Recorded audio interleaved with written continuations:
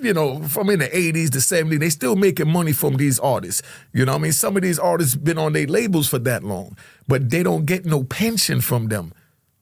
You understand? So they just use them for their money and then everything goes. So they ain't got to pay no pension. They ain't got to pay no nothing. They just take the money from them and they eat off them forever. And then when they get of age, if they don't make another record, now they got to go get a job at the local subways or the diner downstairs. you know what I mean? Mm, so it's not like what it is now where it looks like they're making all of this money. That wasn't it for you back then. Nah, but the, the money that they, if I want you to understand, the money that they're making now that is a lot of money to us is nothing compared to what they're pulling in themselves. They're giving them not even crumbs off the table.